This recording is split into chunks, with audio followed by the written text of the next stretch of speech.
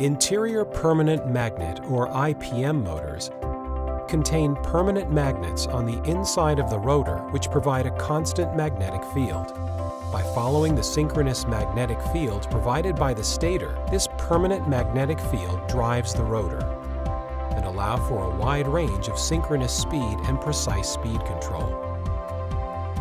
Entirely sensorless, these IPM motors require no additional wiring IPM motors provide constant torque and are designed for high-efficiency use, exceeding IE4 efficiency ratings, making them ideal for a wide range of applications.